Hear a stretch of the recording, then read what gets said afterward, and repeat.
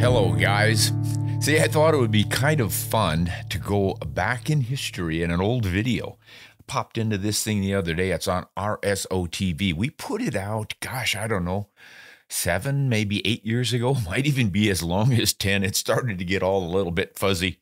But it is pretty interesting in that it is one of the few, if not the only one I've ever done on a double barrel rifle dangerous game rifle, classic stuff. I came across one that was less expensive than most. And one of the reasons that they're not all that popular in this country is because they are such an expensive item. Think of a fine side by side shotgun uh, it's similar, even more expensive because they have to regulate the barrels to get them to shoot roughly to the same place. You can imagine if you have two barrels side by side, you cannot get them to hit to the same point of aim. And then if you've got a, a barrel that groups one or two inches, suddenly you have two of them and then they're together and they're influencing each other's vibrations. And man, it makes it complicated.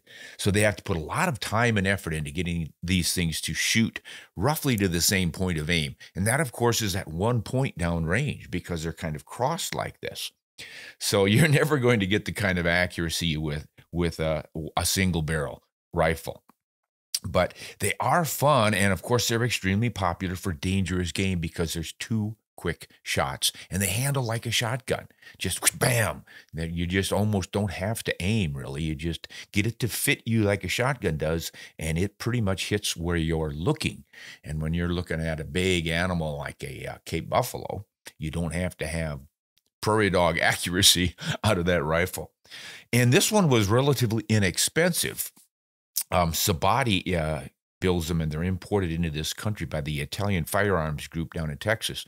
And they invited me down to look at several of their rifles, and I was really interested in this one. So we filmed it on a Texas ranch where they have the exotics, and they were hunting. There was someone there hunting a uh, buffalo water buffalo. This is the the buffalo that's from Asia, not Africa. It's not the Cape buffalo, different species. Um, but they're actually a little bit bigger than a Cape buffalo. So it's a pretty good sized animal. And Larry Pancake was the hunter. And uh, he he was uh, he had to give it two shots. You know, the first shot you think, man, a big 470 Nitro Express 500 grain bullet. I think he was shooting in it would would drop them. But you know the reputation of Cape Buffalo, they can really absorb some energy in some big bullets, and that was the case with this. He hit it the first time it ran off in in the bushes, and he eased up to it and finished it off. But the uh, video, well, let's just see what I all did. I remember taking this gun down and really getting into the guts of it and how it all worked and everything. So let's just watch it. First off, I've got a yeah, that's a different intro we had back then. I really like that one. I almost ought to bring that back. like the frogs on that part.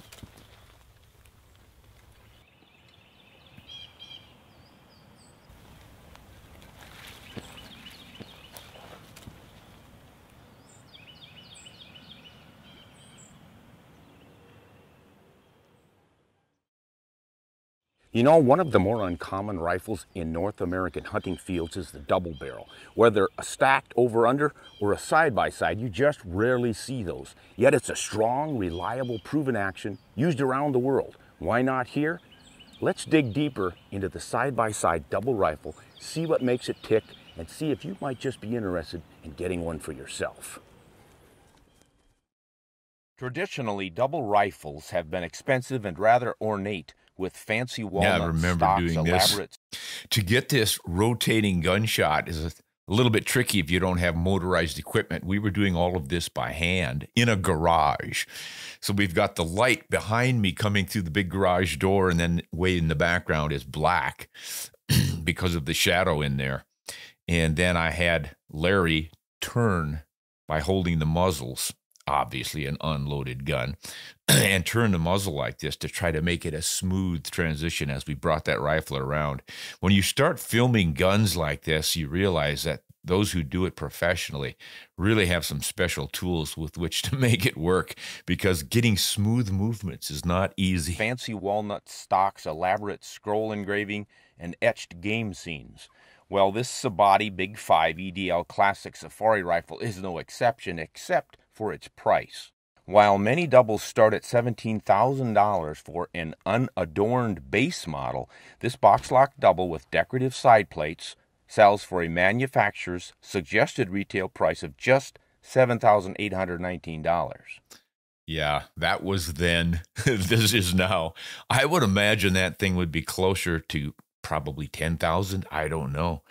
You might want to look it up, but it is, or at least was, and I imagine it still is, one of the the better quality side by side doubles at a low price, the lowest price I've ever seen on one. And it's not a clunky, cheap uh, imitation, it's the genuine item. That's a pretty good buy. Double rifles evolved from huge double barrel shotguns in the late 19th century to provide. Hey, you might recognize this gentleman, Theodore Roosevelt. And he has got a double rifle there. Obviously, it wasn't the Sabatti. Um, and I believe he was shooting a 500 Nitro Express. I'd have to look that up. He may have been using the 4 470 Nitro, but I think it was the 500 to provide a quick insurance shot when hunting dangerous game. If the first shot didn't anchor the beast, the second was supposed to. Of course, you still had to put the bullet in the right spot. In addition to the fastest follow up shot in the business, side by side doubles provide another level of insurance redundancy. Because this Sabatti has two barrels and two independent mechanical firing mechanisms, you're effectively carrying two rifles in one. Now, that is an important point. And it's another reason that the professional hunters in Africa like side by side doubles. Two triggers, two barrels. If something fails on one, you've got a complete setup for the next shot.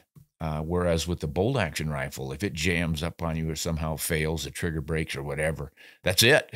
you better hope that that animal uh, doesn't reach you or you get out of the way because you've got no backup. This is really a nice system for that. If one side fails to fire for any reason, like you forgot to load it, while the other remains oh, oh I need to make a comment here on these uh, trigger fingers. That finger on the back trigger first. This is kind of a standard with double barrels. You should always fire the rear first.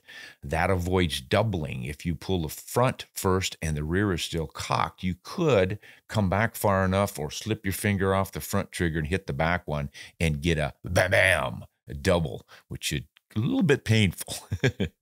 Especially if you don't have articulated triggers, which this one doesn't. One of the reasons it's lesser priced is it does not have articulated triggers. And I'm pretty sure I addressed that further along here. Because this double simply hinges open to load, it can accommodate extremely long cartridges like the 470 Nitro Express, which is nearly 4 inches long.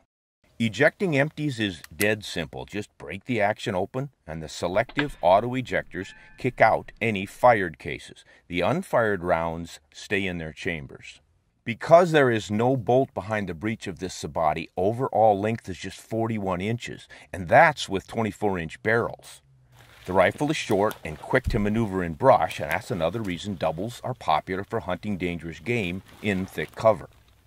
The rifle weighs 10 pounds 11 ounces. Now that weight helps tame the 60 foot pounds of free recoil energy that those 500 grain bullets. I, I need to make a comment here.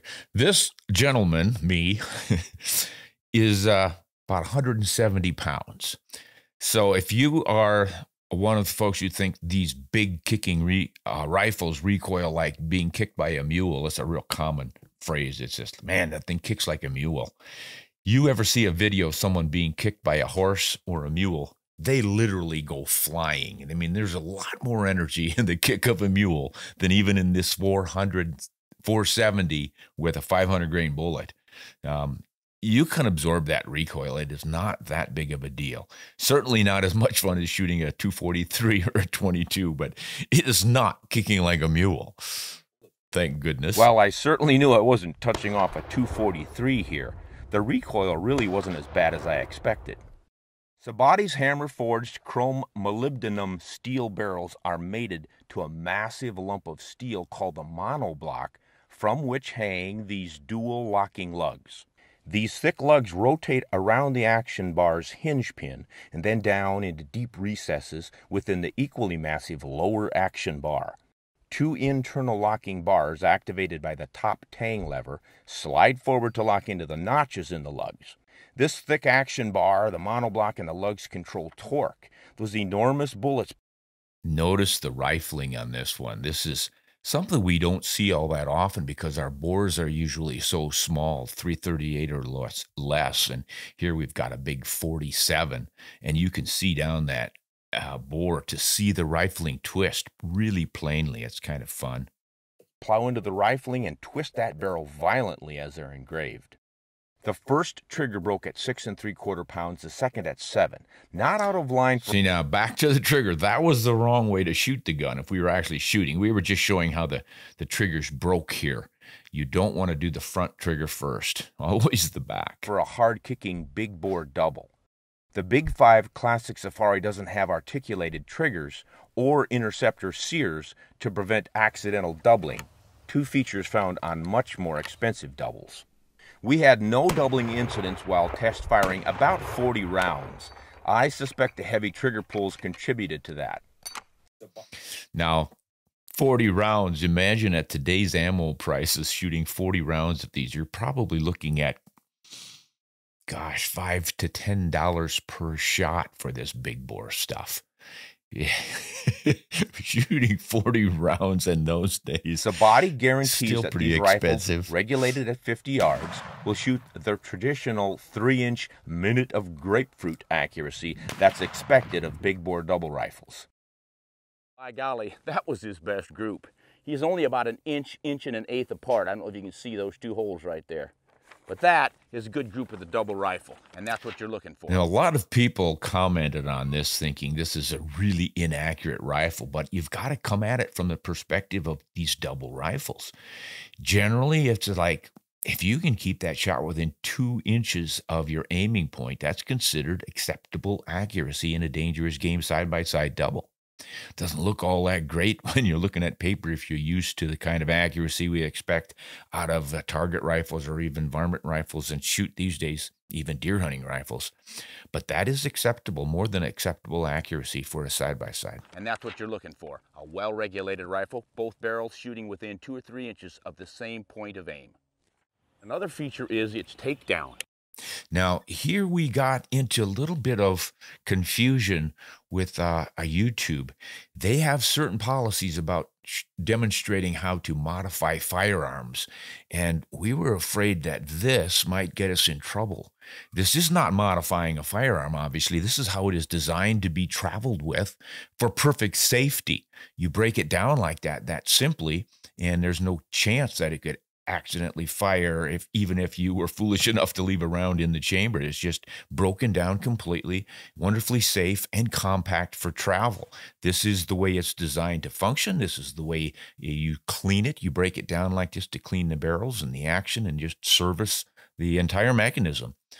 So i don't know if we're even going to be allowed to leave it on here this time through. We're going to uh, ask YouTube if it's okay and stuff and make sure it does not step on their toes with the different restrictions they have on modifying firearms. But this is no modification whatsoever. Standard function. The Big 5 Safari Classic features a solid raised quarter rib with standing rear sight and two flip up blades for longer ranges. The front sight is a rugged front post on a blade ramp. Now, I would order the standing blade with a shallower V notch so as not to obscure too much of the target. Engraved cross hatching on the fully manual tang safety makes it easy to grip and push off even with sweaty hands. The stock grain on the end of the pistol grip is protected by an attractive steel skeleton frame.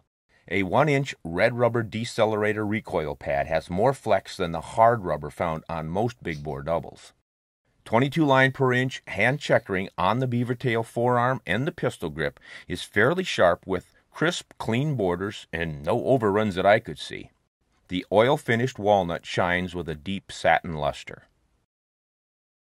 In addition to the 470 Nitro Express that we tested, Sabatti's Big 5 EDL Classic Safari rifles are chambered for the 500 Nitro Express, 416 Rigby, 450 Nitro Express, 450 400 Nitro Express, and the 375 H&H. A dangerous game big bore cartridge is probably more wallop than needed for most North American game. But whether you want to stalk big bears, moose, or just feral hogs, a Sabatti can help you do it in impressive style.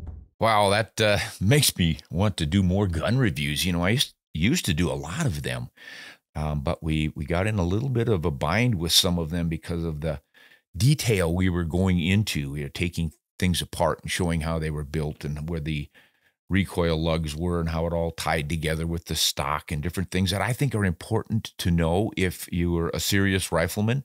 But as I mentioned, sometimes you, you get in trouble with the uh, restrictions on some of these commercial channels like this. We're going to look into that. Um, would you like to see more gun reviews? I've got quite a few we could do. And we could resurrect some more of the old ones like this that we took down temporarily. Um, I, I'm thinking I'm going to dive into this a little bit more. Let me know what you think. And if you'd like, we'll do some more of these gun reviews. And also let us know which rifles, shotguns, handguns you would like to see us review because yeah, that's a that's a fun part. Yeah, summer is quickly approaching and we can get outside now that the snow is gone and indulge in some gun reviews. So thanks for watching this one. And you might want to check out that big game safari rifle from Sabatti if you're at all interested in the traditional side by side dangerous game rifle.